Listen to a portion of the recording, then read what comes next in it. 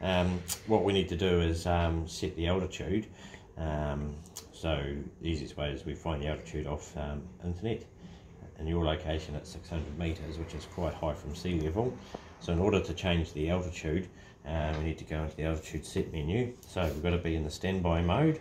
So the display will be on, but the middle line will say OFF.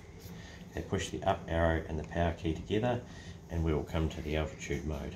Push the up arrow to 600 and then push the set button and that will set the altitude.